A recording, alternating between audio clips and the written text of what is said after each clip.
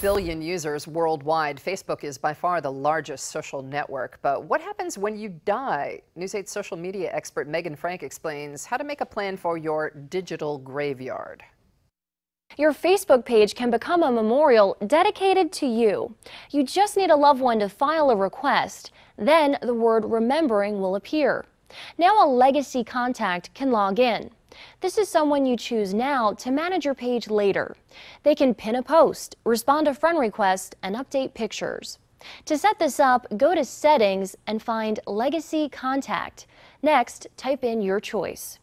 There is also an option to have your page deleted. The steps are posted on WGAL.com.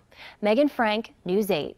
And to memorialize a loved one's page, you will need to provide a scanned copy of the death certificate. If you do not have that, Facebook requires proof of authority and proof of death. For proof of authority, it accepts power of attorney, a birth certificate, or an estate letter. For proof of death, it will accept the obituary or a memorial card.